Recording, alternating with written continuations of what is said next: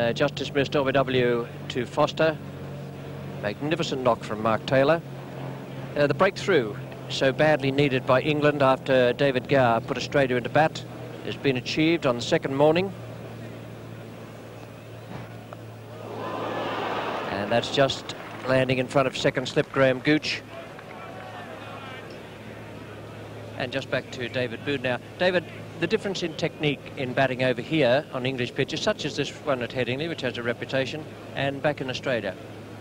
I think it's uh, over here is far more imperative that you really watch the ball and uh, if you can get as far forward as, as you can to try and um, stop any deviation that there can be.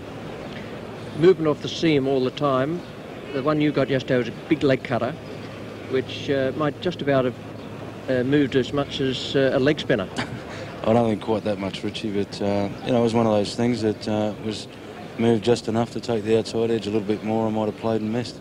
Do you reckon, we'll just come back to that moment, we'll watch Foster coming in to Stephen Waugh once again. Well, there's a good over from Neil Foster, just what was needed by England. They had to get the breakthrough. It's four for 273. We'll continue talking with David Boon. Room that this wicket will deteriorate. And uh, perhaps there have been signs today that it's just playing a few more tricks. We've seen two deliveries, one that I just talked about the last over that Steve Waugh got.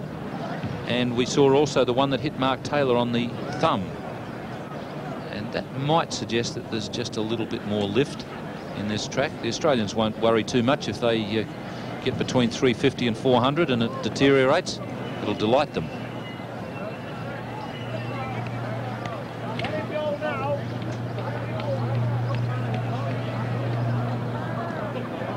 Much success for the England bowlers thus far. Two wickets apiece for De Freitas and Foster. De Freitas slightly the more expensive, conceding 70 runs from his 26, and Neil Foster already through 31 overs.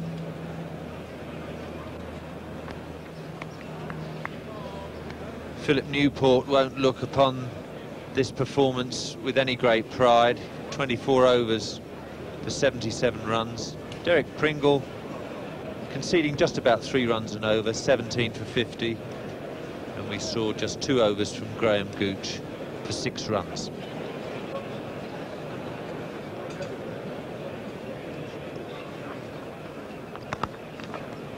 And it's a nice shot to get off the mark. Steve Waugh using the short boundaries straight. And it's a good save there by Phil Newport three to Stephen Waugh to get him off the mark. You can rest assured they won't be helpful ones. A bit of bounce there for Neil Foster. That one went through uh, just about, well, nose height. So he's really uh, charging in with Steve Waugh at the crease.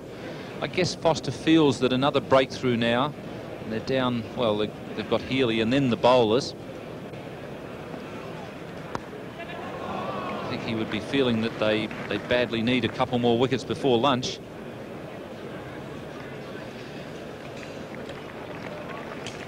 Yes, they've given Steve Waugh the type of welcome that most test batsmen would expect when they come to the crease. He's had to play nearly every delivery. A couple of short ones, a couple moving away off the seam. The rest of the Australian batsmen have got off very lightly. The England bowlers not bowling straight enough. The batsmen able to watch it go painlessly by. Ordinary looking England attack. That one bouncing just in front of Graham Gooch and it'll get away to the boundary rope for four. So an uncertain start for Steve Waugh against some good bowling by Neil Foster. And it looks as though this wicket will give the bowlers some help if you pitch the ball wicket to wicket. An edge falling well short of Gooch. That's cracked him on the fingers.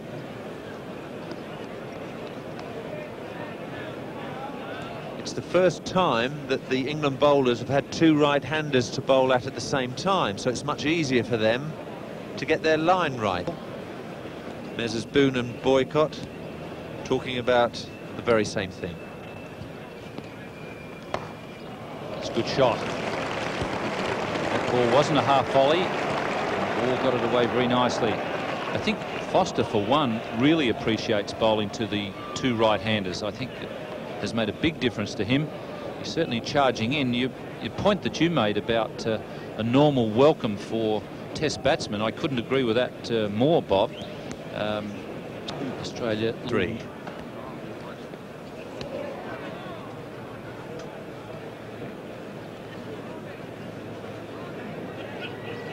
In the last over, we saw the ball go through to Jack Russell from the bowling of Pringle. Nips back off the seam quite a bit. His head goes round straight away. May have indicated a little under underneath edge. Big appeal from the slips, but unfortunately Russell dropped the ball.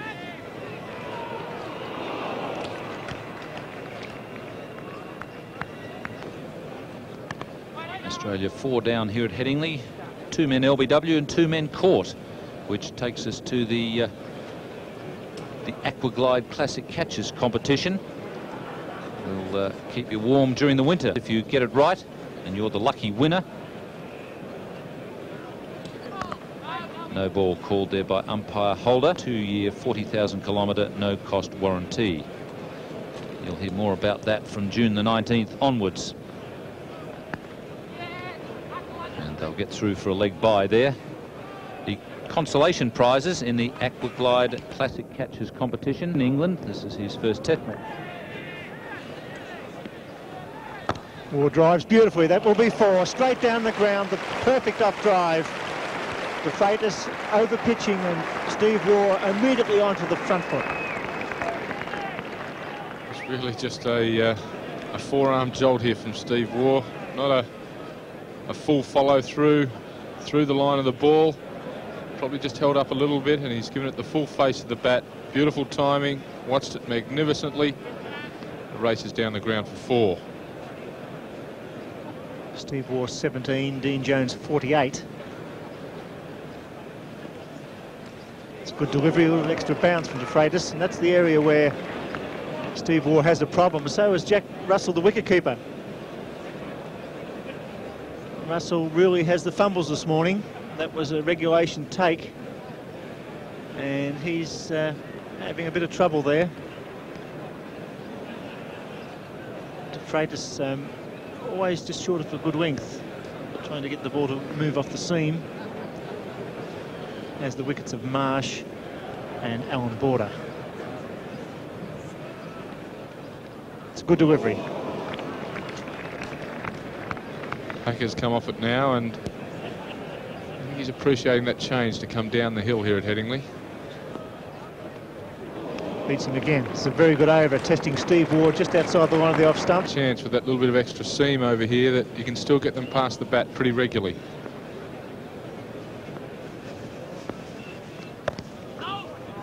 It's a good over. It's four for 308. I mean, obviously you're pretty keen on, uh, you know, probably too old now to get out there and bat. Pretty keen on batting if this lot were bowling, yeah, definitely. See, I think That's, one all that's, round. that's the last uh, ball of that over, and the score now is four for 311. This time it's Stephen Waugh facing Pringle. Waugh on 17, Jones on 55. And it's interesting to note that Dean Jones this is only his second first class innings on the tour. Dean scored 248 against Warwickshire, included 12 sixes. So after the injury at Worcester in the one-day game, he's come back in great touch. Waugh beaten, good delivery Pringle, the leg cutter.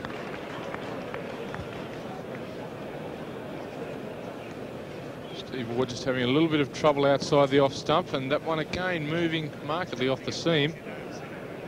Foster, De Freitas and Pringle have had the ability this morning to move it off the seam away from the right-handed batsman and they are definitely appreciating not having a left-right-hand combination, English bowlers. beats him again. And notice the low bounce there, and that's one advantage Australia will have if you can have to bat last. Terry Alderman. Right arm over the wicket, medium pacer. Waugh whips that through square leg, a gem of a shot, beautifully played. Four runs. Steve Waugh timing the ball magnificently here this morning. He's had a little bit of trouble outside the off stump, but having no trouble at all on his pads. And although he looked a little off balance, he has timed that ball magnificently. Back foot coming around. Lovely follow through, and he's that through square leg for four runs. Australia really getting on with it, being aggressive and looking to build a massive total here. 112 runs in the session so far for the loss of one wicket. Mark Taylor for 136. That's the exact score that Neil Harvey made in 1948 on this ground. And uh, Steve Waugh, the last of the recognised batsmen. Healy and then the bowlers to follow. So this is a vital partnership And the good part about it is the runs are coming quite quickly.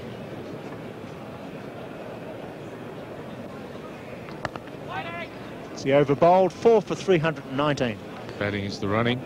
Scampering through for those singles. Robin Smith just a little bit on his heels there. Cover point. And Dean Jones realising that very quickly, getting through for a single. That's a third man for single. David Gower won the toss and elected to bowl. I'm not sure that David Gower is a warrior. I think he's got a lot of flair and he's a very professional cricketer, but certainly over the morning's play, it's Derek Pringle. Australians have lost one wicket this morning. That of Mark Taylor. In 36. And one of the features of the morning see Pringle come in. was Mark Taylor's first century in Test cricket. Derek Pringle to Steve Waugh.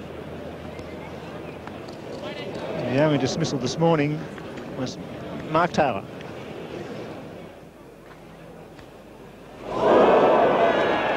And LBW. Mark Taylor judged LBW that must have been decided by umpire David Shepherd as a ball that pitched in line with the stumps.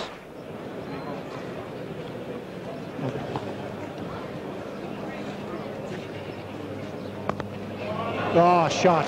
Beautifully played. Enormous strength there, Stephen Warren. See the same shot he played last over off Derek Pringle for four runs. He's done it again.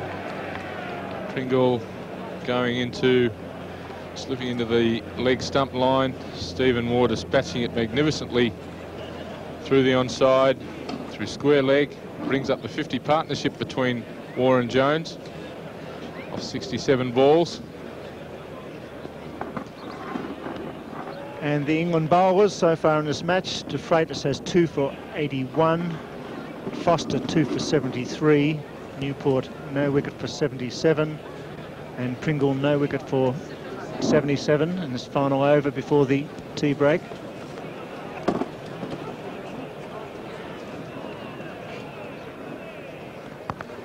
It's well played, a very aggressive shot by Stephen Waugh. He's coming back for the second. So at lunch on the second day, Australia 4 for 327, Jones 56, Stephen Waugh 28. We'll be back here in Headingley in 40 minutes. See you then.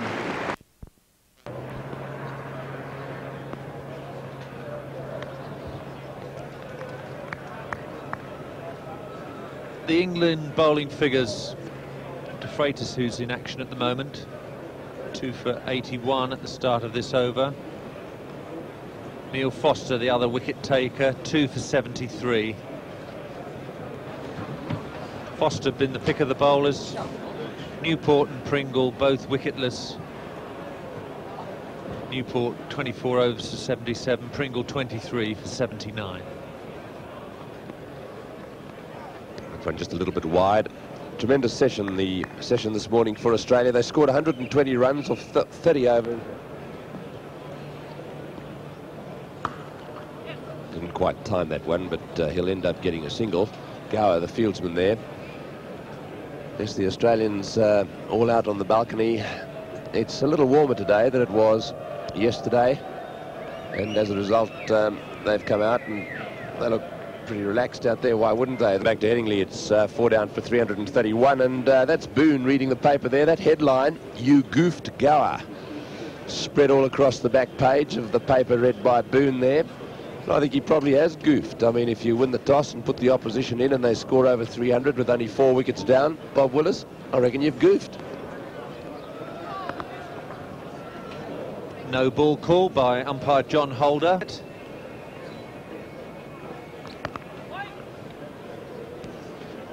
Firm offside stroke. His high score 91 against the West Indians. Yes, and against England, um, defeated on 29 at the moment. Tremendous stroke makeup. And I suppose all his relatives are sitting up there, as would Dean Jones's relatives and friends down in Australia and all the rest. West Indians.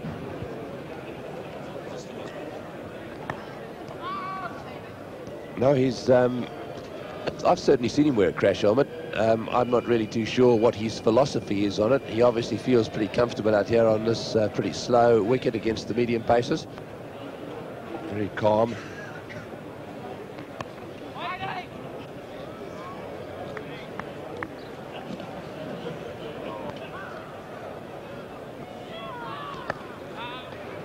And Steve Barwick of Glamorgan hitting Ian Botham. Forces that one away just backward a square. No runs there. It's the end of the over. Four for 330. Still lane end to Steve Waugh. He's played that shot well today. Three or four fours through that area. Steve Waugh now moving along to uh, 33. Australia 4 for 339. One thing that did impress me about your innings, uh, Mark, was your concentration. What do you do there to keep your concentration going?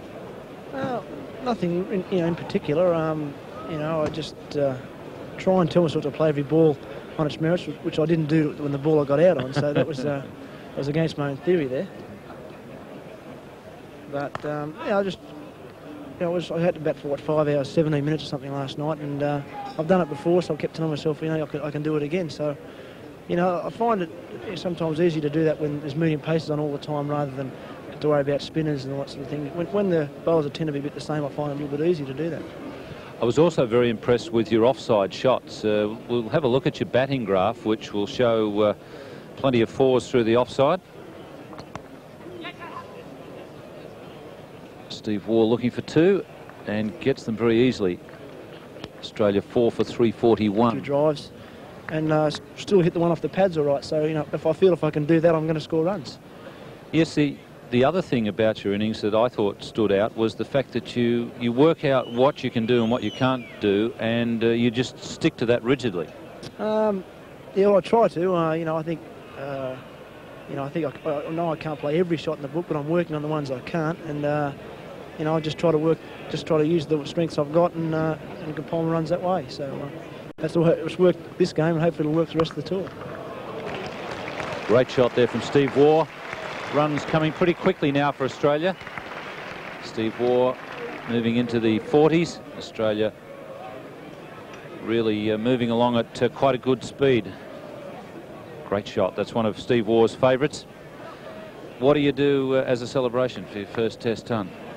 Well, actually, uh, my mother and father are still here, so I'll probably still go out with them tonight, I'd say. And uh, the, uh, the blokes from 4X have bought me a bottle of Moët, so we'll have, be having that in the change rooms after the game. So there'll be a, a few drinks tonight, but uh, uh, I've got to play again tomorrow, so I can't get myself too uh, too livid, I suppose. So it won't be it won't be that big tonight, but I might have a few drinks on Saturday night.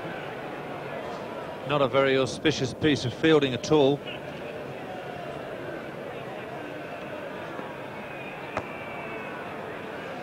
And England haven't looked too lively in the field today. I think they realised they missed the boat yesterday.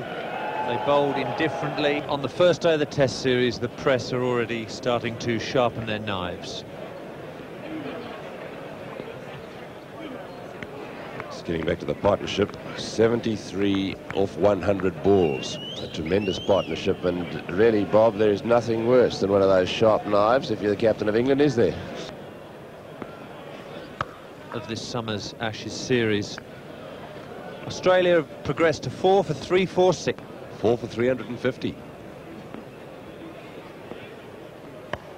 Onto the back foot goes the right-handed Stephen Waugh, looking very solid in defence. The Australian 350 came up in 709 deliveries.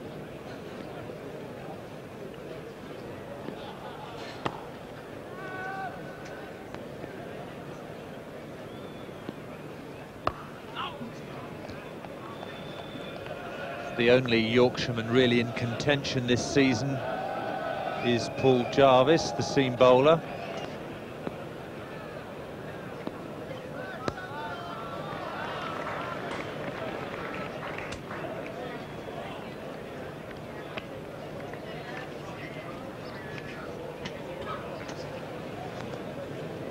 Taylor for 136. Border made his contribution for 66, and now these two. Really not the place to bowl to Stephen Waugh, just outside off stump and just short of a length. Every now and again, if it's a little close and bounces, he can nick it.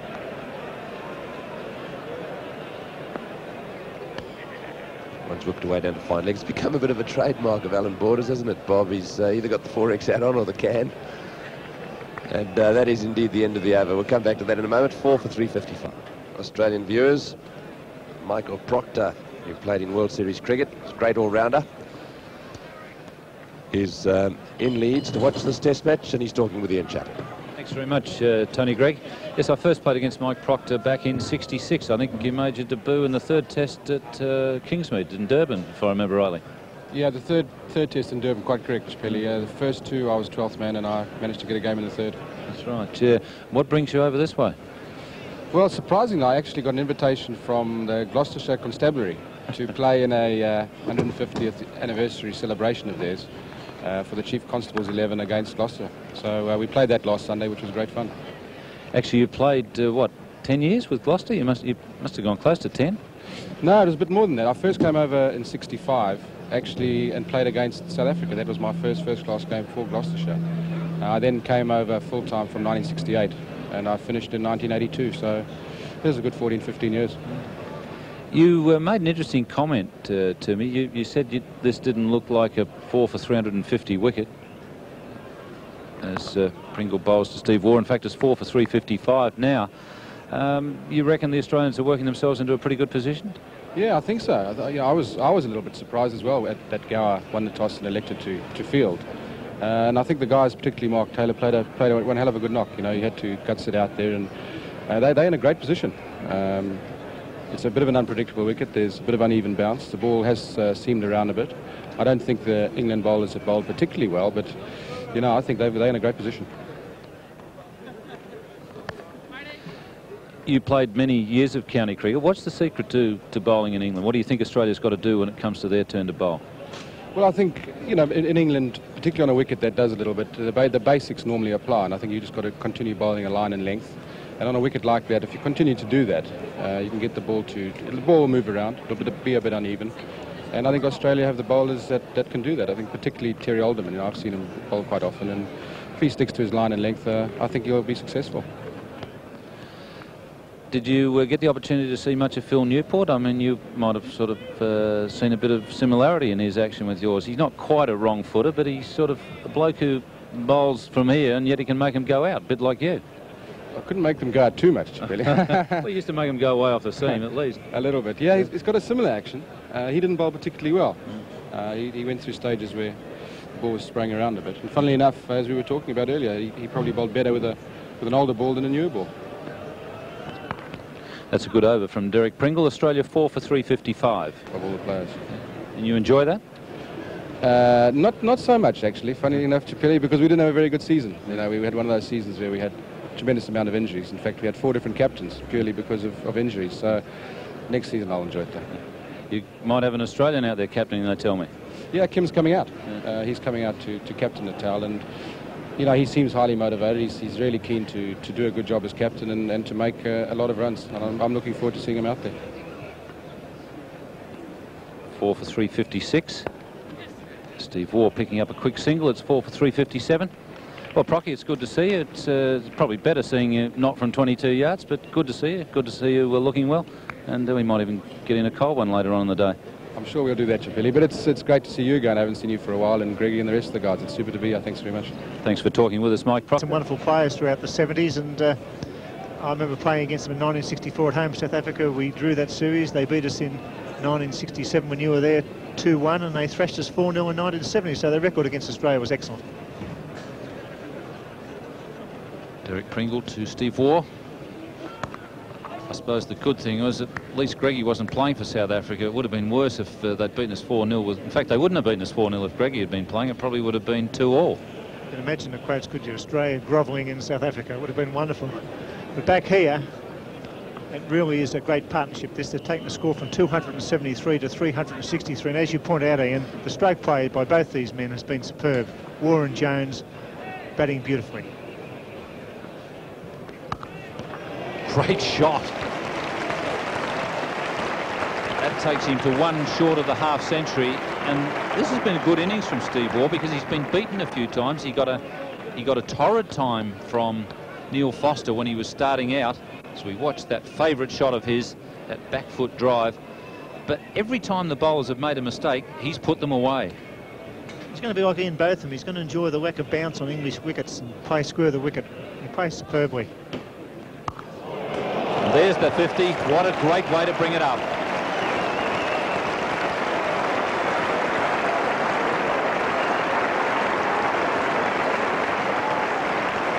Which is 450 against England, eight fours in the 53 for Steve Waugh. But you've, uh, I guess, got to hang on to your catches at any time in Test cricket. Richie Benaud has some thoughts on that matter. Easy one. Now here's Phil Newport.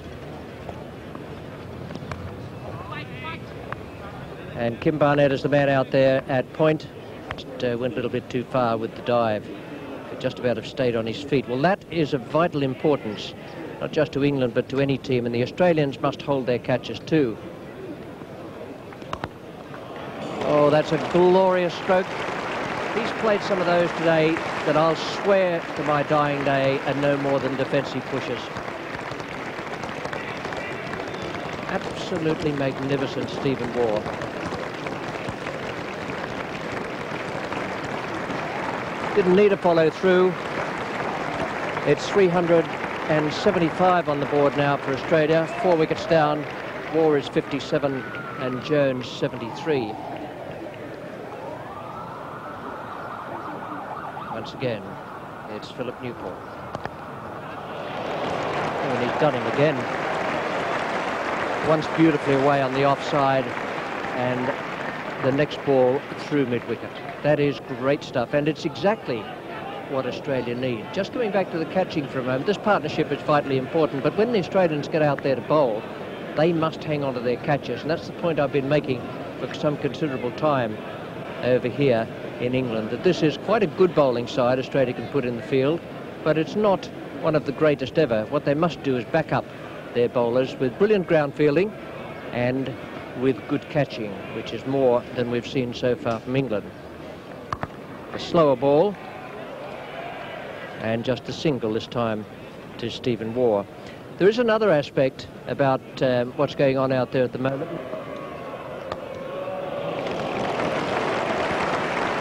That is great stuff.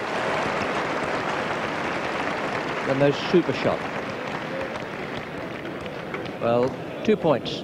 One about the catching that the Australians uh, must keep up when they get in the field, and the other one that uh, the ball still has been beating the bat quite a bit, and I think that'll be important. I still think there's plenty in this pitch, Ian, for the Australians when they get out there. Uh, thanks there to Richie Benaud, and uh, what a marvellous innings we're seeing here from Steve Waugh, Hughes and Graham Yallop, who put that partnership together in 1981.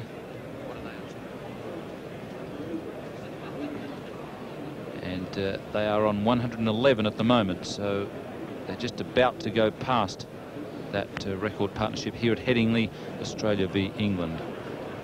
And the stroke play has been absolutely superb.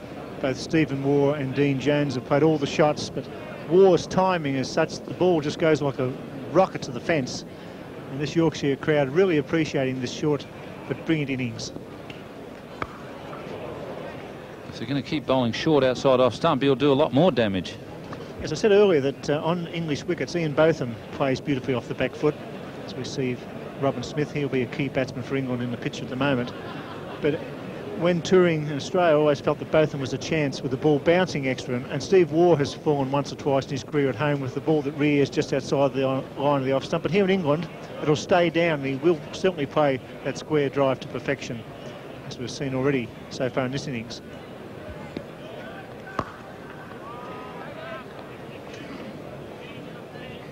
David Gower would be uh, thinking at the moment about how to stop this run flow. I suppose from the Australian point of view, the thoughts running through Allan Border's mind would be, number one, that he's enjoying this, seeing uh, the Englishman getting belted around after having taken uh, two beatings from the Englishman in 85 and then again in 86, 87 in Australia.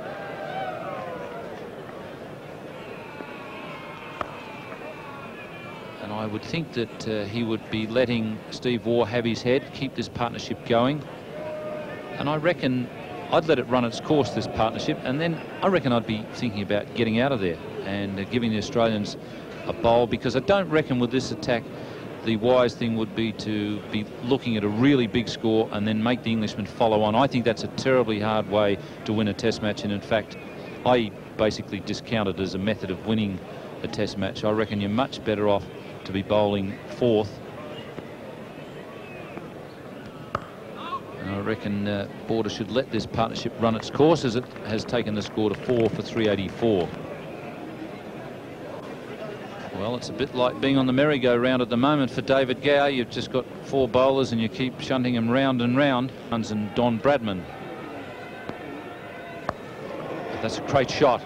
Two bounces and across the rope. So that's a nice welcome for Neil Foster.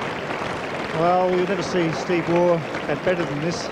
It's a gem of an innings. It's what the Australians need. It's what his captain needs. He's not holding back. He's giving it full bore. And he's playing some delightful strokes.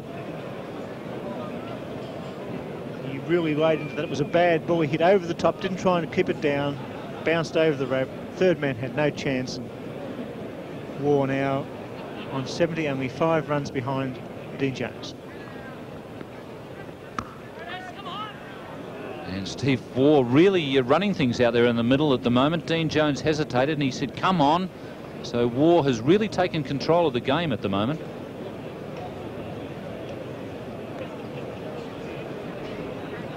All shapes and sizes, the highest order.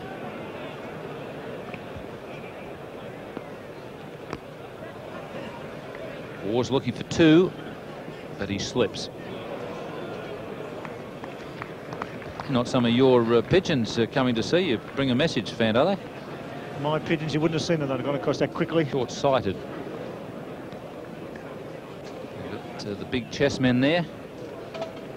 And that was in the city square. They were playing uh, that game of chess. And uh, I tell you what, they've got intelligent pigeons over here, uh, Fana. They, they play chess. Well, he actually looks like David Gower to me. Not too happy at the moment, that one. Tell you what, he's not short on a feed. You don't think he'd be doing too much flying, that one. He's, uh, I think he's grounded at the moment.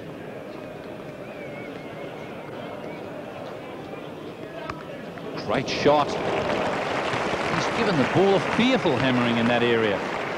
Well, when you look at this innings, you, you, you think of Doug Walters, Gar Garfield Sobers, Norman O'Neill, the great back foot players who really get back and put it away right back and across over the top of the ball and that's a gem of a shot. Superb batting by Stephen Waugh. He's now level with Dean Jones on 76 and we're going to see a man placed at point on the fence.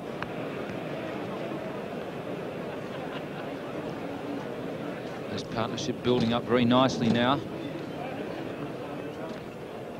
124 and I tell you what Bill this not only is it good in the context of this game, and obviously Australia now having got England down, they need to hammer home the advantage and win the game. But I'm just starting to wonder now what's going to happen in the in the British press as far as David Gower is concerned. If they take a beating after he sent the opposition in, they're not noted for being particularly patient with their captains over here. Well, Godfrey Evans uh, sent Australia three to one for this match. I wonder what the Price is now. I mean, they're, they're playing superbly.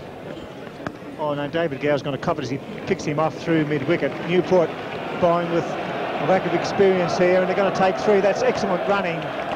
Really is top stuff from Stephen Waugh and Dean Jones. This crowd warming to this partnership. 400 up for four. What a wonderful start to the series by the, the Australian batsman.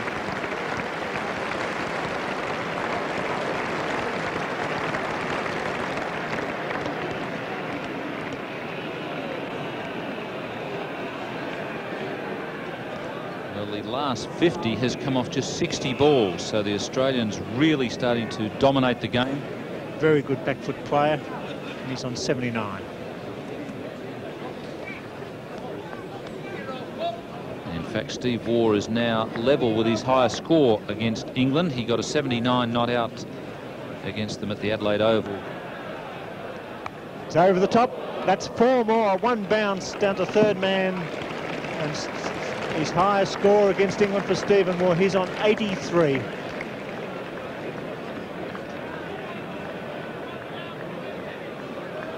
Magnificent innings this from Stephen Waugh, and it's the way to play a square cut. Although that was a top edge, they would have been struggling to catch it if it did go to hand. The Australians have just been offered the light by the umpires, the dark, darkening Yorkshire skies. But Stephen Warren and Dean Jones happy to stay out there.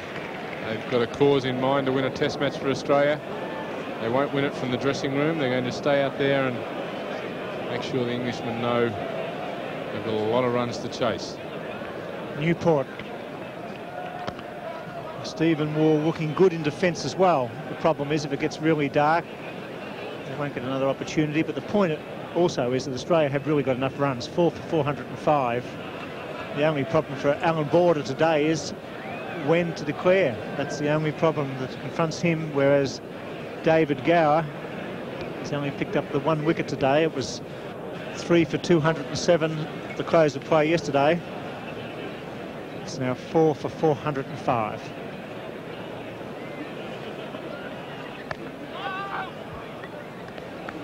It's a very nice problem to have, Bill. I'm, I'm sure you've you've had that problem in your captaincy career. That sitting up there, the side four for 405, just uh, trying to pick the right time, mentally and physically, when to start bowling at England when they're maybe at their weakest, at their most down. Well, it's so important to try and get one up in any series, but certainly this one.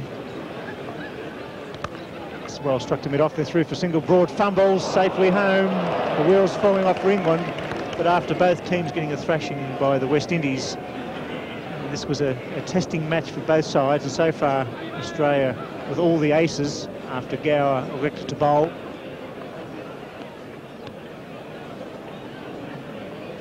It's the end of the over.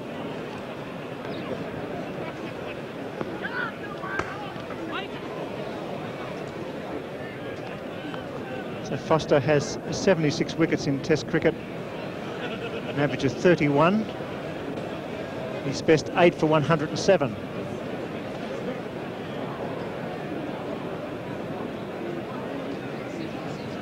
Seventy-eight, including this match now. That was before the start of this match. So he's got 78 Test wickets.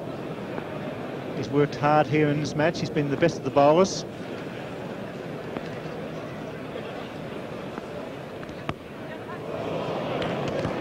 Fine shot. A couple more. And Foster versus Australia. His best bowling was two for 27, so he hasn't had a great record against Australia. Only in his third Test match. He's averaged 43.8. Not great against Australia, but certainly a long way to go. Only playing his third Test match against the old enemy. Bouncer. Waugh 86, Jones 79, 4 for 411.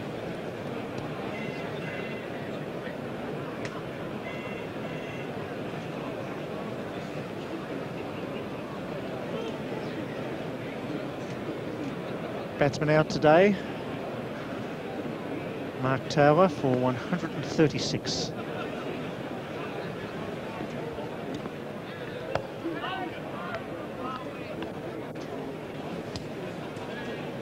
Is uh, definitely a little bit darker here at the moment as of the non-paying members of the Yorkshire County Cricket Club up on the wall. Let me look over, but I don't think they're going to go any further.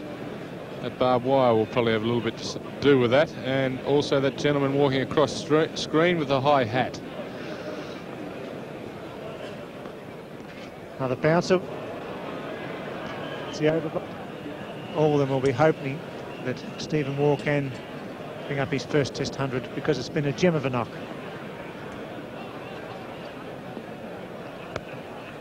Nice deflection. Down to Newport, just the single. 87, the Devil's number. Pretty good delivery, that one. That one seaming back from off to leg. Just the one slip in now for Steve Waugh, such as this innings been. They haven't been able to stop the run flow. There's a third man fine. There's a point on the fence.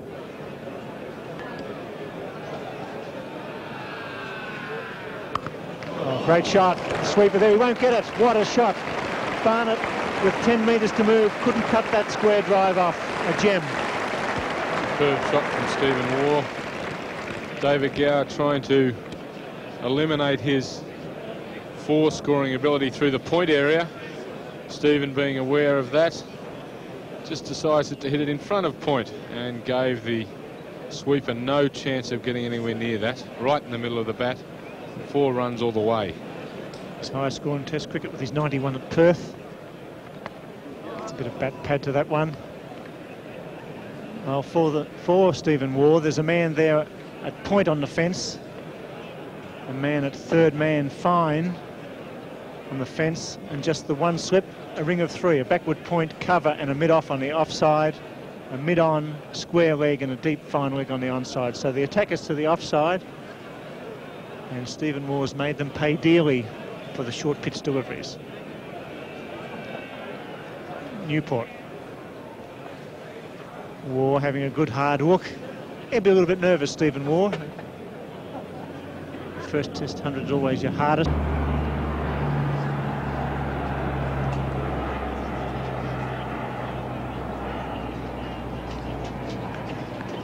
being very watchful Stephen Waugh. That ball just moving away a little bit, but starting very wide. Newport starting that far too wide. And Waugh, although he's 91, he's on the move. He's scored a lot of boundaries.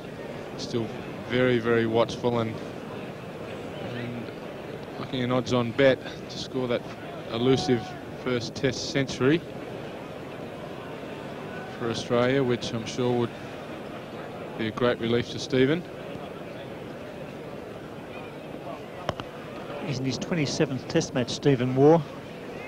That's the over bowled. He's on 91. What an innings this is by Stephen Waugh. 91 not out. Chanceless so far. Into the nervous 90s and heading towards a Test century against England. The stump's direct. Five for 420.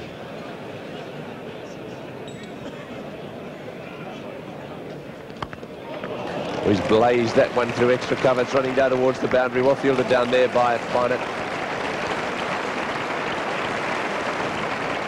And a good throw back to applause not only from the crowd but also from his teammates.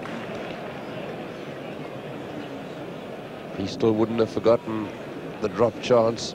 He uh, let Jones off the hook. That's another angle of the cover drive. Good piece of fielding from Barnett. The 90s not looking too nervous for Stephen Waugh.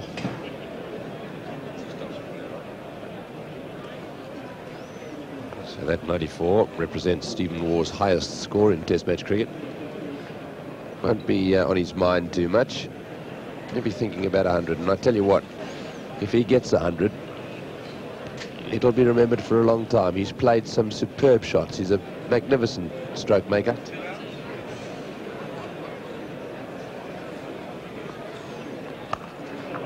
That runs through the gap as well. Probably settle for one, so that takes him on to 95. Stephen Waugh has only been in 141 minutes. This is the pace of a one-day innings. He really has destroyed this England attack. Listen, for those of you who relate to balls, 112 balls for his 95. Fantastic. 15 fours in the innings so far. This is Foster. And a watchful, very watchful Waugh pushing forward. Foster represents, I suppose, the most dangerous of the English bowlers. He's probably the quickest of them. Makes the ball leave the bat quite a lot. But there's only one slip there now. Gower really has spread his men out.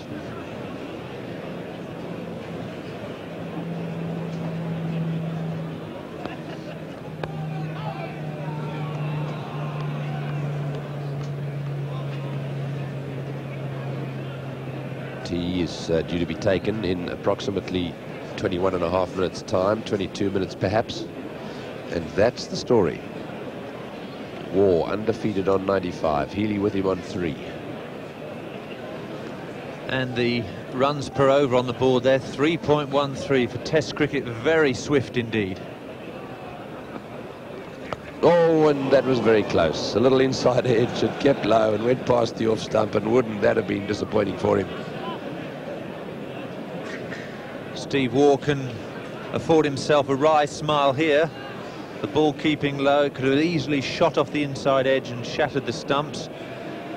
But one or two England batsmen will be looking at that ball keeping low and not being so happy. They're looking down the barrel at a score of 500 plus here.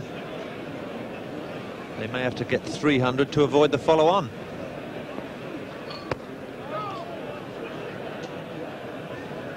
This is a good over. I think that Foster realises that uh, Waugh is now going to be just a little bit careful, waiting for the half volley. He'll keep it just short of a length to him. He really has blazed away on the offside, anything short, and doesn't have to be too short either. He's got onto that back foot and hit it through extra cover superbly. No problems getting underneath that one. More effort from Foster. Brings a little bit extra out of a bowler and the batsman gets close to a 50 or a 100. Really putting everything into it now, Foster. But Steve Waugh can let that one go harmlessly over his shoulder.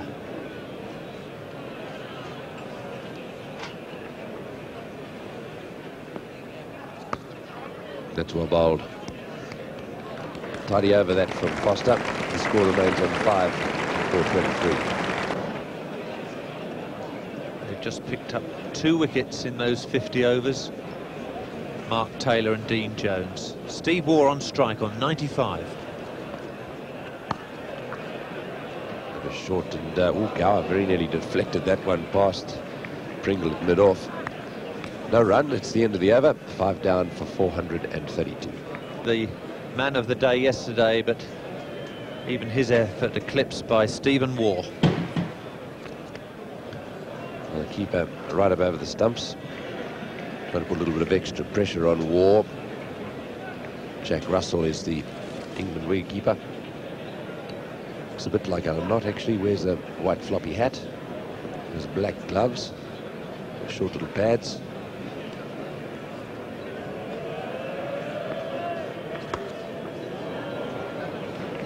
Very watchful Waugh. It's the end of the over. Five down for 433. Downing a catch of Dean Jones. Waugh looks pretty composed. Bit of gardening. Make the bowler wait. Here he comes. Oh, he's got it away. It's going down towards the boundary. It'll get there. Yes, it will. Into the fence it goes. So Stephen Waugh now moves on to 99. Just one run short of his maiden test century. And hasn't he played superbly? One of the few false shots we've seen from Waugh. Thick outside edge and nothing going round for poor David Gower. He takes the slips away and through it goes. Graham Gooch telling the fielders to stop one. Be a bit more effort from the bowler.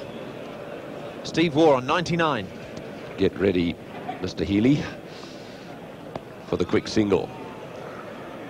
No, I don't think um, he's going to do anything silly here. He'll wait for a half volley or a short delivery. Perhaps nudge it down to third man, one way or the other. This is a great occasion for this young man.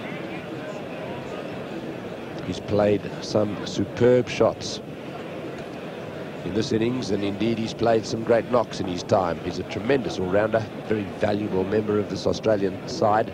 On 99 now. Newport, the bowler. He's got it. Beautifully played, Stephen Waugh. That is a tremendous innings, and I think that he recognises it too. He's not one to get too emotional. And have a look at those Aussie teammates of his. They realise that this has been one of the great hands tremendous knock. The Aussies are up in the stands waving their flags. And the Yorkshiremen, including Bobby Simpson and Geoff Lawson up there, and isn't he a happy-looking fella? What an innings, Bob Willis. A really great knock from Steve Waugh. His century coming up in just 124 deliveries.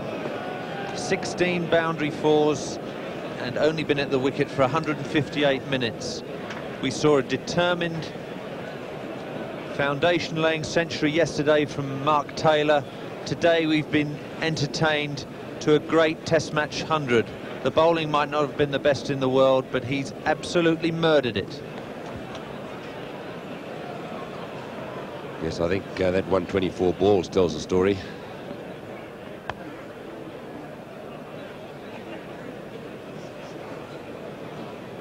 That is the 16th occasion in which an Australian has scored a test match century here at Headingley. Number 15 was Mark Taylor earlier today and Stephen Waugh, number 16. And as the bowler ran in there, you could see him talking to himself, saying, they don't go and do anything silly. So often, after batsmen record a century, they then perhaps relax a little bit and get out. Clearly Stephen Waugh and the Aussies would like to kick on to 600 having nothing to do with that wide delivery.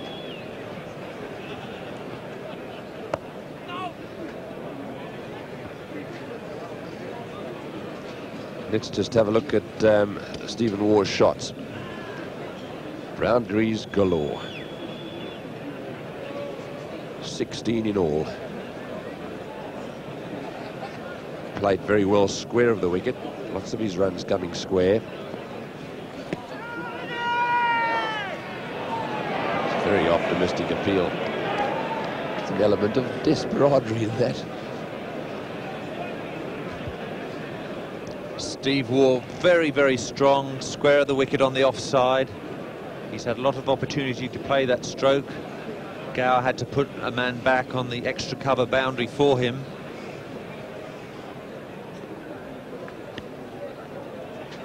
He played himself in for four or five overs and then set this Headingley ground alight. One of the great test match innings. The speed of it, absolutely breathtaking. Yes, he'll remember that for the rest of his life, that's for sure. Tell you what, Gooch is bowling pretty well too for a part-timer. That's the end of his over. It's five down for 439. It's going, uh, it's in fact six for 441. Stephen Waugh is having a cup of tea. He's 100 not out. Healy is out. So 442 Australia now at Headingley, six for 442. The entries will close for the uh, Aquaglide Classic catches on the Friday, 8th of September, and the winners will be announced Saturday, 16th of September. So Phil Newport is coming in from the Kirkstall lane end. He's bowling to Steve Waugh. Magnificent century, just 124 balls. It took Steve Waugh to post his first ever test century. And what a happy man he was. And the Australians extremely well placed. A wonderful performance also by Mark Taylor, 136. Excellent support by Allan Border and Dean Jones, at 138 run partnership between Jones and Stephen Waugh. You couldn't see a better one than that considering the conditions. It was dull and overcast. It's a very cool day here at Headingley, but they played all the strokes. It's really Test cricket at its best, and that's really set up this game for Australia at six for 442 on the second day. Waugh 100, Hughes 1. And it's now Mervyn Hughes facing up to the medium pace bowling. Newport. The first catch. Botham caught Boon, bowl Lawson. Catch one. Back live. The second catch was taken by Philip de Freitas. Part of the great action during the three one-day internationals back live here at Leeds. Crunch, there he goes again. Barnett trying hard, dives, doesn't get it.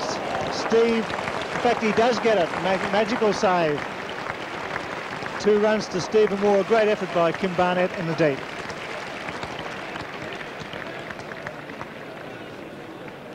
Another one of those classical square cuts from Stephen Waugh and Kim Barnett making a little ground. Just getting there inside of the rope. An early dive, well controlled. Good return. Two runs to Stephen Waugh. That's a quick single. Back to the classic catcher. In extra that's going to be four more. A little bit of luck there for Waugh. Only the one slip in. Waugh on to 107. The runs coming on for Australia at a great rate of knots. The, the dejected Englishman and Steve Waugh just getting that down wide of first slip through about the second slip region. It's really helping us on it on its way. Phil Newport down here at third man, a bit leg weary, couldn't cut it off. Four runs.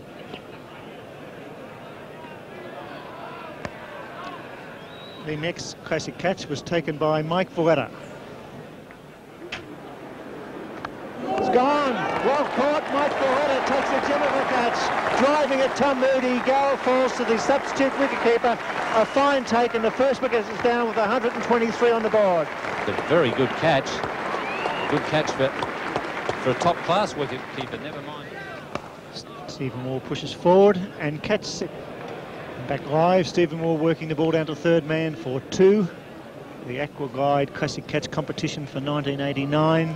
Keep a list, try and get it in the same order as the Channel 9 commentary team.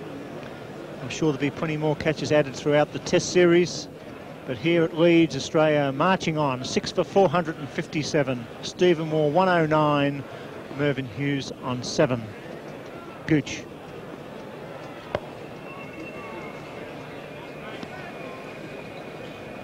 Yorkshiremen love their cricket. They've really seen some classic batting today by Taylor, Jones and particularly Stephen Waugh. Magnificent ovation for the young right-hand batsman as he crashes that down to Newport, just the single. The over bowled, six for four, five, eight. Work to Waugh. Beats him outside the line of the off stump.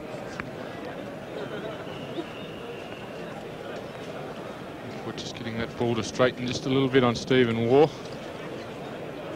Sloping in and just straightened a touch. Didn't carry through to Jack Richards either, so indication that this wicket is wearing a little bit already. Jack Richards taking it on the half volley. A happy sight think, for the Australian bowlers, although not as positive as they would like. But uneven bounce will help. Straight driven, a single. The bowling figures for England. Newport 2 for 134. Foster 2 for 86. De Freitas 2 for 100. Pringle no wicket for 108.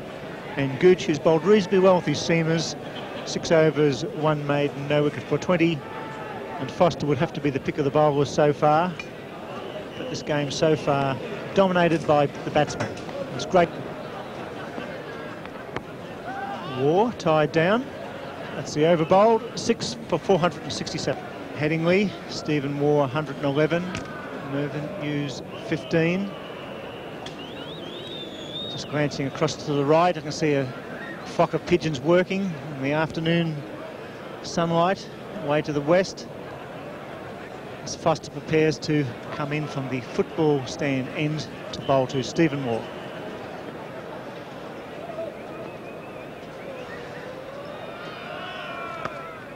Well, there was a big shout against Mervyn Hughes in that last over. The bowl was Pringle.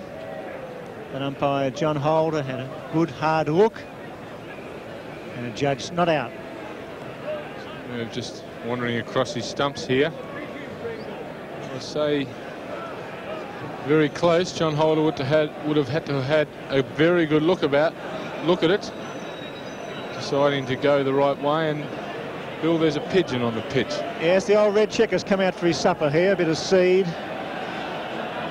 Always a good sign when the red checker comes out. You can see the band on his ring. That's his race ring, the blue ring on the right foot.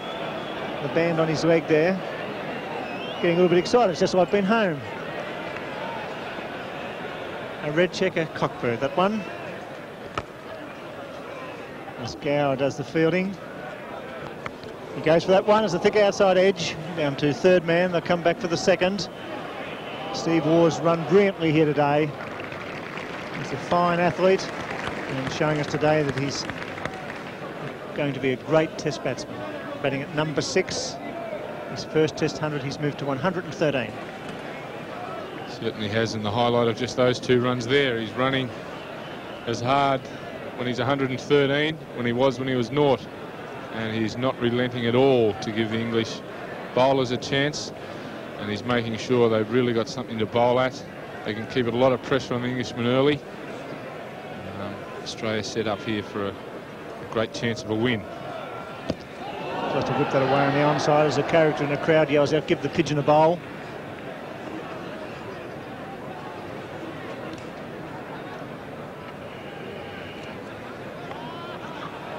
It's coming for its afternoon supper, some grass seed. It's just wandering between, it's coming to a short cover into a catching position now.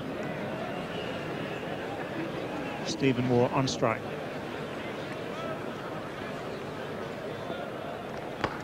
And Waugh very watchful. Not giving him as much width since the tea break. Pigeon would have to just watch itself a little bit. It's moving quite slowly and unwarily. It, it could become pigeon pie for someone this evening. Uh, looks like it's a very well fed one at the moment. Umpire David Shepherd shows his athletic ability by chasing it around the field. And it moves 10 feet. It's got David Shepherd well covered, that red checker. I can tell you that he's coming back in for some more seed.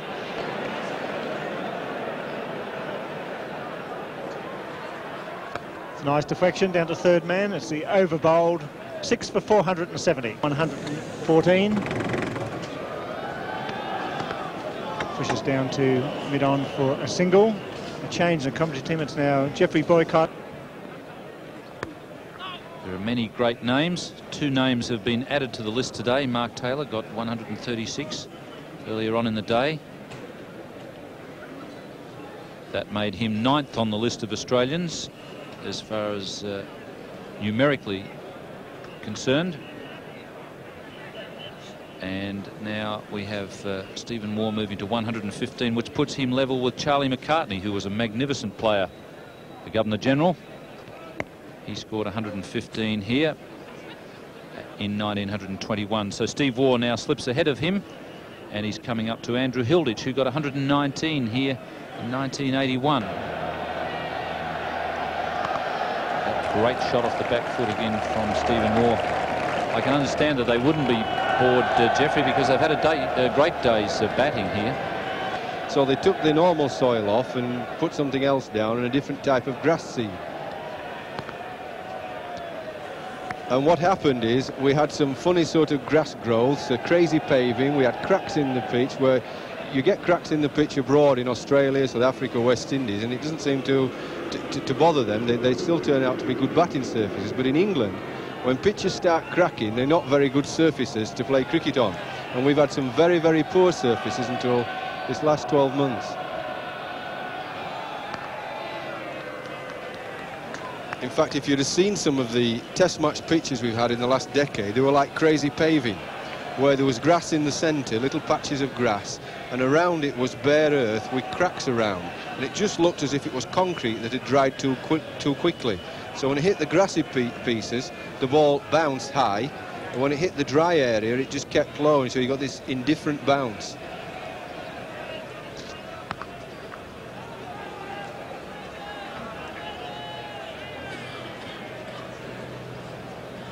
Balcony here at Headingley, surveying the scene, and I would think that he would have a declaration in mind pretty soon. Well, I hope he has. Waugh's looking for two, but it's not there. The light is certainly good enough to think about a declaration as Derek Pringle continues.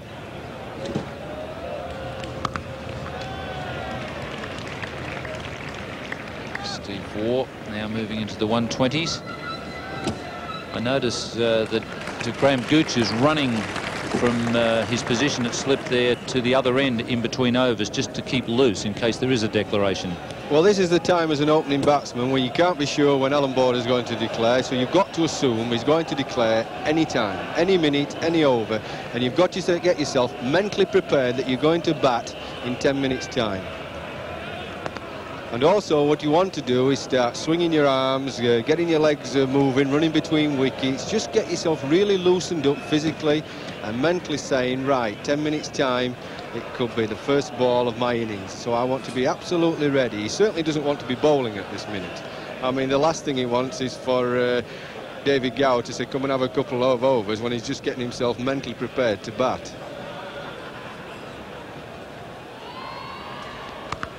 Geez, hit that shot well today. That's an indication of how well he hit it. Kim Barnett only had to go about 10 metres to his left and he was flat out stopping it.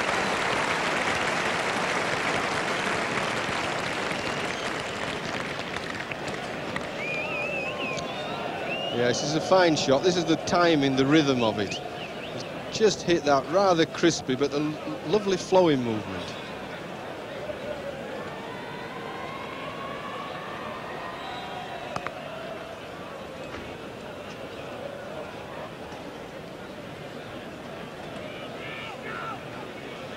I think what Australia need to do, following on from your point, Ian, is that in the next 20 minutes or so, just run England round a little bit ragged to best advantage. Almost every ball looking for a run. It's not how many fours. You actually want to get all the fielders a little irritable, running round.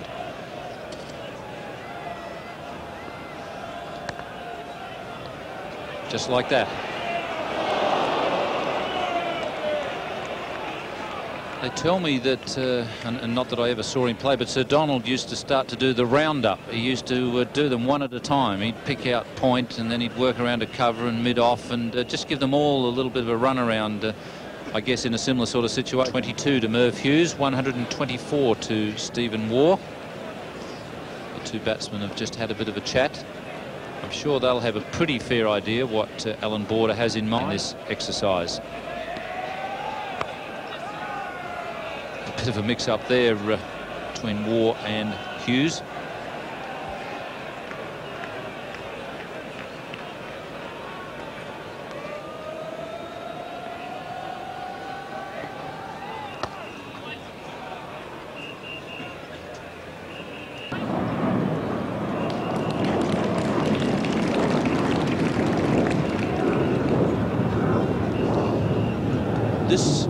Talking about this being an old style Headingley wicket, uh, Geoffrey. What does it do over the five days? Deteriorate much? No, it doesn't actually. That's why it was a really good test match pitch and uh, it didn't deteriorate a lot. But somehow we've always had quite a lot of results at Headingley. The bowlers have managed to keep being able to seam it a little bit. I mean, ideally, we'd have liked the pitch to turn. I mean, so we get the spinners in the game, but that's not necessarily, that's not really been the nature of... Robin Smith is at deep point. If you remember, in Australia well and truly on top here at Headingley. That's well run. Two takes the score along to 490. And seeing Australia well and truly on top takes us back to the old days, the good old days as far as Australians were concerned, when they used to be on top. Days when Dennis Lillee used to be uh, bouncing around Tony Greig's ears. At the moment, Tony Greig has the microphone. He has the opportunity to bowl a few bounces at his old mate, Dennis Lillee. Thank you, Ian. Good old days for you, maybe. Not so much for me, but great to see you, Dennis. It's lovely to chat to somebody, actually, who's uh, got about as little hair as I have. Just let's have a look at this shot. But you, you, you're hanging on to it a bit better than I am, perhaps? Well, people say we go to the same hairdresser, Greggy, but I'm not quite sure. I think uh, yours is pulling more out than mine is. But only just. Right. This uh, Aussie performance has been tremendous, hasn't it? You've watched the last two days. Yeah, it's been a great, solid performance by the batting, uh, batting side Australia. And um, the great thing about it is that I still feel sure that the bowlers in the Australian side feel there's enough happening out there. Nice tidy shot. To uh, keep their interest up. And uh, if I can be critical of the England bowlers, and I'm going to be, that is I don't feel that they've bowled a consistent line and length, and that is usually their bread and butter. And I think that the Australians will certainly learn a lot from that, and if they can bowl a good line and length out there, there's enough happening every now and again just to keep the interest up. Do you think there's enough talent in this Australian bowling lineup to bowl them out twice? Oh, most certainly, yeah. I mean, uh, it's a, a, a, bowling lineup that's going to be very consistent, and that's what is going to be required out there. Who do you think the danger man is going to be? We'll have a look at, uh, we'll talk about that in a minute. This is uh, Pringle. Alderman obviously is one of those characters who's never going to let them down, and he may get some movement out there.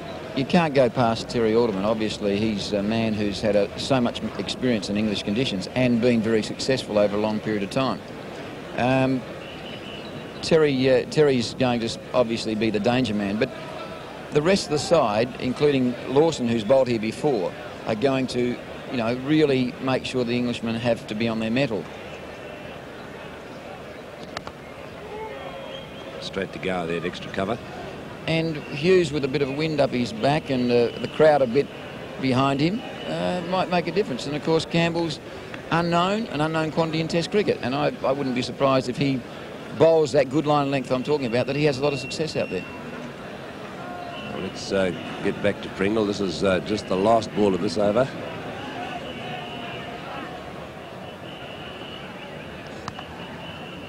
Straight to the field. I think uh, Merv was similarly bemused.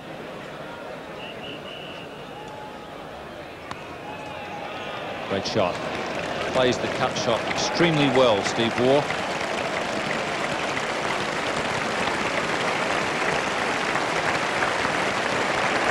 Brings up the 500.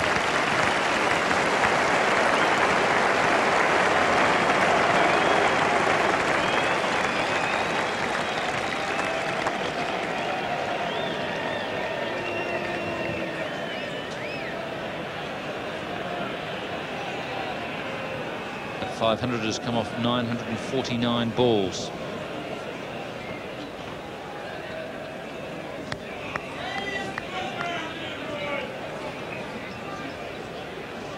Certainly pushed the first uh, few deliveries through. Kim Barnett looked like that one might have been the toppy there to uh, Steve Waugh, the top spinner.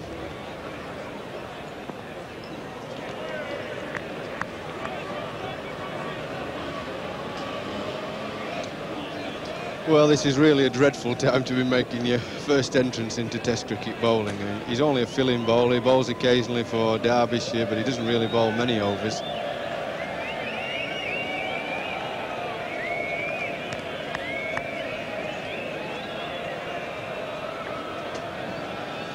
Been quite tidy so far, apart from that uh, short one outside off stump. He's lobbed them quite well, just warming up his fingers there.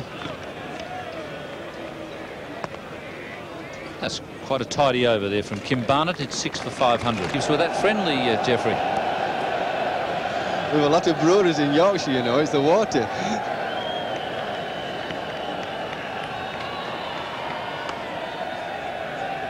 It's well run because uh, Robin Smith wasn't too deep there at mid-off. 504. Arthur Clues there uh, giving his views on matters there on the balcony.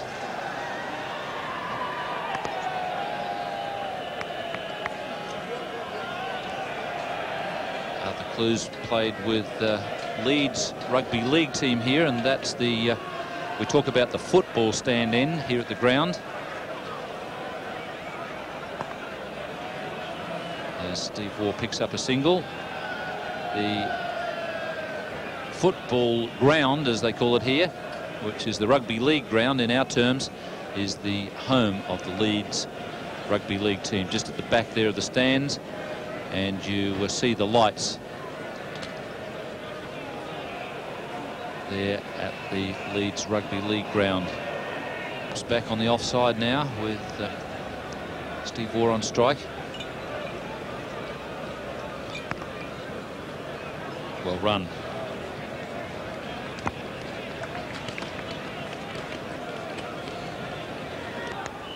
That'll be a boundary to Steve Waugh. Not off the middle of the bat, but he'll take him That takes him along to 142. He's gone past Mark Taylor, who made 136 earlier. He's also gone past Bill Woodfull, who made 141 in 1926 at this ground. There's an inside edge, but I think Dennis Lillee's comment 10 minutes ago was quite right about this Headingley pitch. Uh, Australia have got such a big total, but all the time you've always felt that the odd ball they've played and missed or edged of the batsman, and there's always been just that little bit of something in it for the bowler, just to encourage them.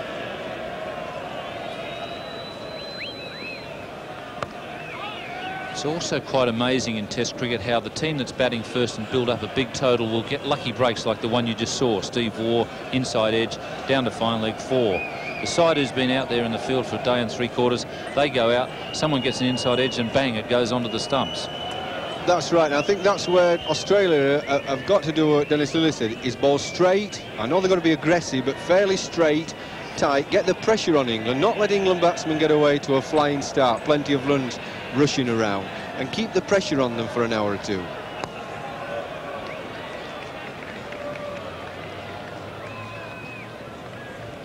I mean, ideally, they'd like to get a wicket or two this evening. And in the uh, 28th over to Pringle. And for Newport, it was in the 28th over as well. Steve Waugh retains the strike. It's six for 520. Kim Barnett continues, bowling to Steve Waugh.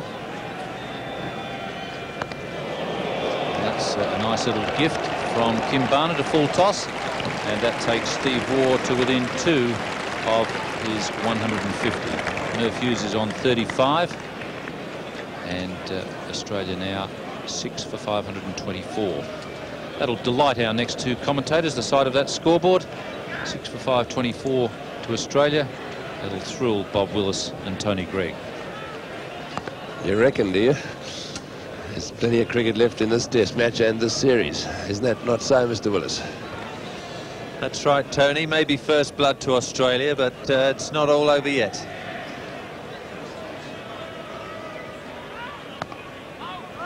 He's not a bad little leg spinner, Kim Barnett. Quite surprised, having seen him bowl for the first time, that uh, Gower didn't try him a little earlier on. Yes, David should have given him a go yesterday when they got stuck against uh, Border and Taylor. He's played that one into the gap and we'll have to keep an eye on the... On 149.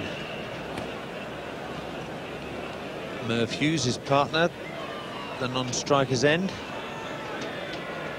Philip de Freitas will be the bowler from the Rugby League football stand end.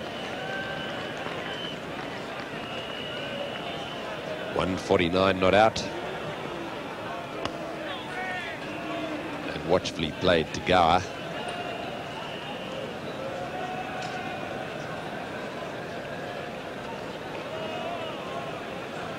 One forty-nine represents the eighth highest score made by an Australian on this ground. Holding the gloves up there, perhaps uh, there's either a message going out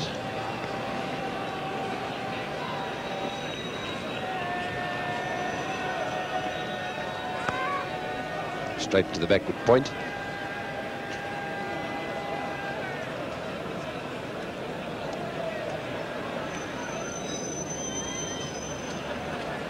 Philip de Freitas in his 41st over.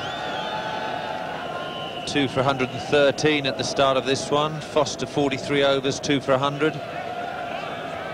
Newport 36 overs, two for 139. Pringle 33 overs, no wicket for 123.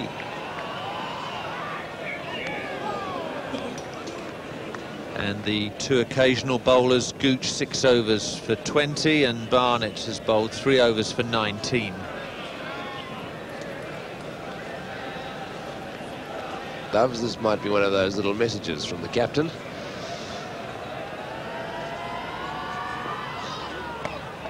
Into the gap it goes, and that's 150 for Stephen Waugh. A tremendous innings, a quick time innings, an innings made when it really mattered, and he should be very satisfied with his performance here today. Quite quickly, he's um, managed to put on 86 for the seventh wicket with Stephen Waugh a long way from his uh, early days as a number 11 for Australia. Really come good with the bat. And he's uh, scored his 35 with consummate ease. Kim Barnett trying a new approach, coming round the wicket to Steve Waugh.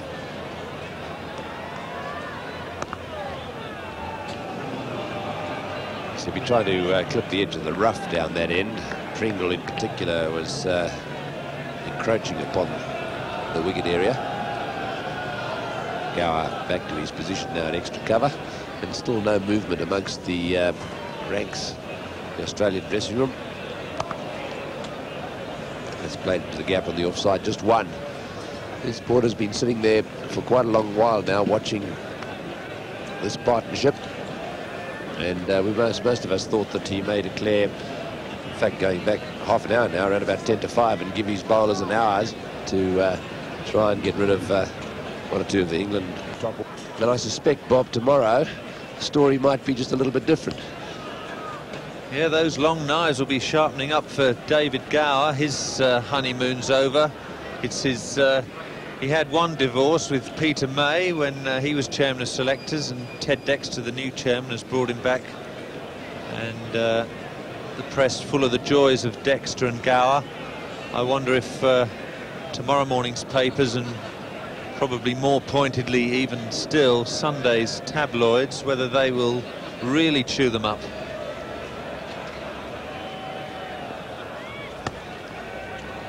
Those uh, Sunday newspapers tend to um, have a little bit of time to develop the theory a bit, and uh, of course there'll be another day's play. And so David Gower, I would have thought I want to have a nice quiet rest day without reading too many newspapers. There is, of course, a rest day in this test match. Australian viewers not very used to those. Sunday is a rest day in this test match. David Gower has the uh, auspicious pleasure of doing a press conference. Quick single, Waugh gets through comfortably. He moves on to 152. Watchfully forward goes Waugh, and he remains 152 not out at six for 531.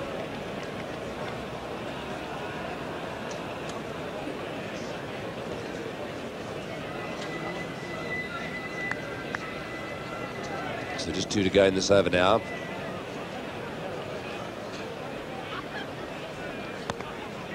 Waugh on strike, and once again finding the gap. This time he's looking for two, but I think he'll probably have to settle for one. Hughes, nine. A big score here by the Australians. Gower at the moment is um, having a little team talk with De Freitas. And uh, the Aussies have got their heads together. There are some good explanations for it. We just have a look at uh, Philip de Freitas now.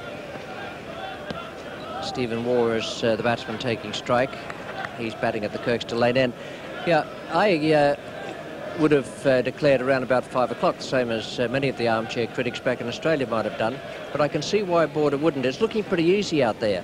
And uh, the time to make the runs might well be in the first innings out there, rather than the Australians have to go out and try and make them in the second if they're chasing uh, a total, having bowled England out twice. They have a formidable target at the moment 539 on the board and only six wickets down. These two guys are making things look uh, pretty simple. Stephen Waugh is batting quite beautifully, playing some lovely strokes away on the offside. And Merv Hughes is hitting well. He's a very good partner there. Comfortable on their balcony. Hughes has 54, Waugh has 154. The sun is shining and uh, everything looks pretty rosy. It's all happening for Australia. 100 partnership between Waugh and Hughes. Merv Hughes' own 50 and now the 550 up for Australia. So Kim Barnett again. And he loves those short deliveries outside off stump. That's going to run down to the boundary. That area is very quick on this ground. It's a little bit of a slope down there. And the rank long hop, like that one, is uh, really no problems at all for Waugh in uh, any circumstances. But when he's got 158, I should think it's uh, very, very easy for him. And uh, this really is an indication that Waugh and indeed Border there she goes again, but uh, on that occasion he plays and misses. Yes, that Border is perhaps thinking runs are coming so easily, they may as well take advantage of it. Neither of them have had to go mad and throw the bat.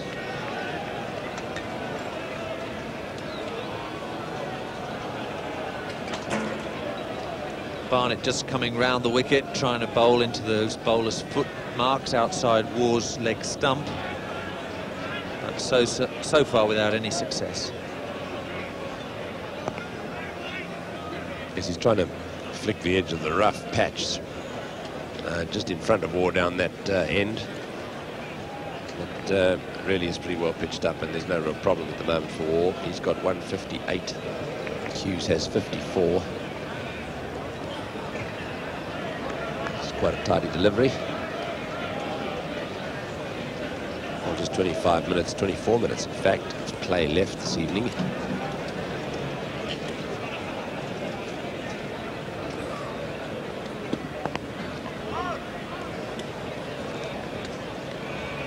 So the end of another over. Six for 550. Lads up in Yorkshire. Umpire David Shepherd is uh, very superstitious.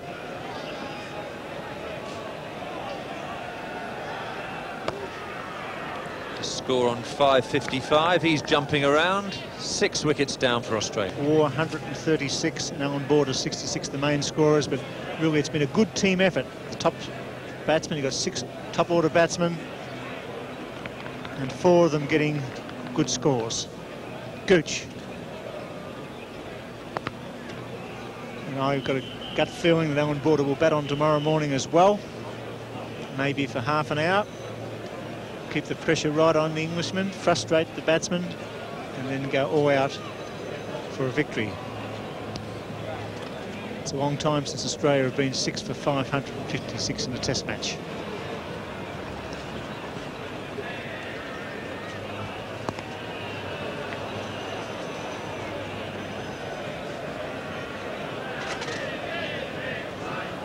Steve Waugh still very watchful.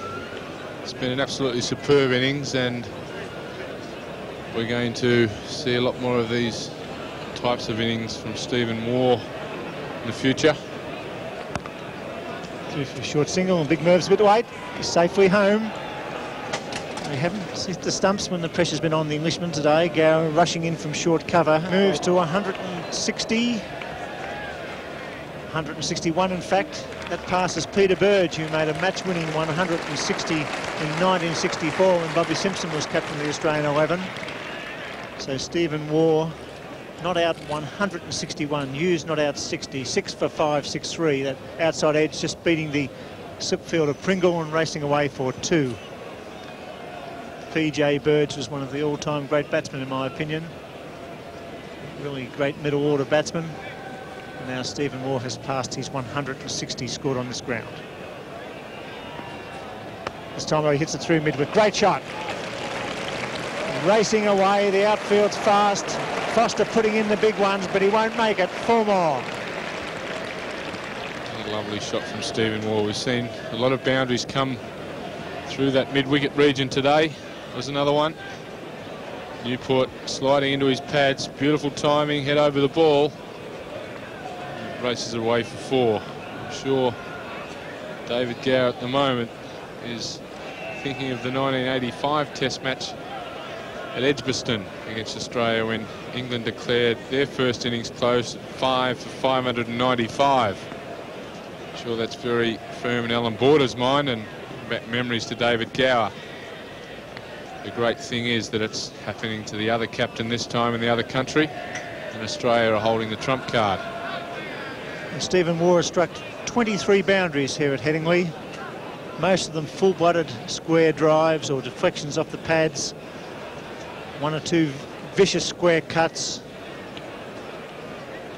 His first 100, what a great 100. A deep breath there. He's a very fit athlete.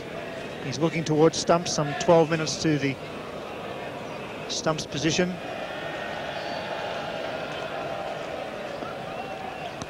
That's going to race away. DeFreitas comes around quickly. Waugh back quickly for the second run. Good running. The throw just a fraction wide. And Waugh safely home. The crowd staying right to the end here at Headingley. They've seen a great innings.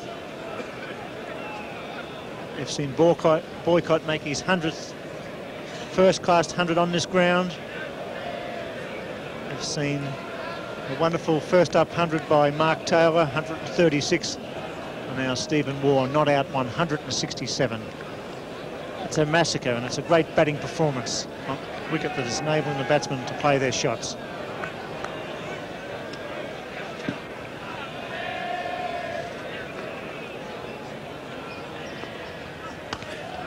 Quite get that. Straight to mid-off. The ground fielding has been pretty good by the Englishmen. They've stuck at the task. They've done one or two catches particularly one that Barnett dropped Jones at square leg that should have been taken. But all in all, the fielding of a reasonable standard. Two days in the field, conditions very cool, but their bowlers have really taken a pasting.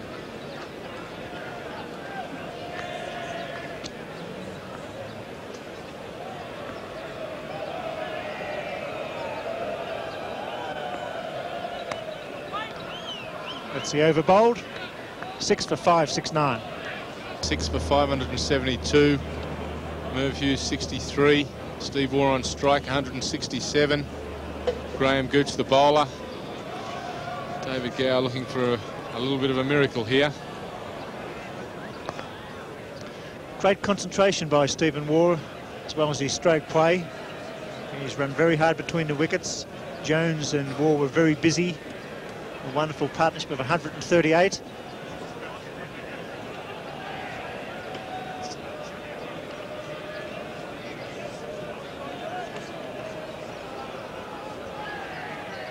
This partnership now worth 132. That's a wonderful effort by Mervyn Hughes, promoted in the batting order, giving Waugh great support. Certainly is, and it's, it's hot work out there for the big fella. Waugh, crunch, way it goes, four more. Beautifully played. Well, we're running out of things to say about this innings of Stephen Waugh's. Running out of things to say about this Stroke off the back foot, a magnificent stroke. He's been playing them all day. Piercing the field. Graham Gooch unable to stop that ball, beating the third man and the forward point to the boundary for four runs. Highlight of this innings. Stroke play through the square.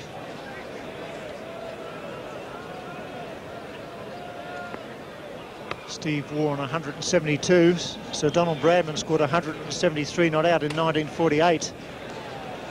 So one run behind the, the great Donald Bradman, Stephen Waugh. Bill Ponsford scored 181 in 1934. Arthur Morris 182 in 1948. So Donald Bradman's 304 in 1934 and 334 in 1930. So Stephen Waugh 172.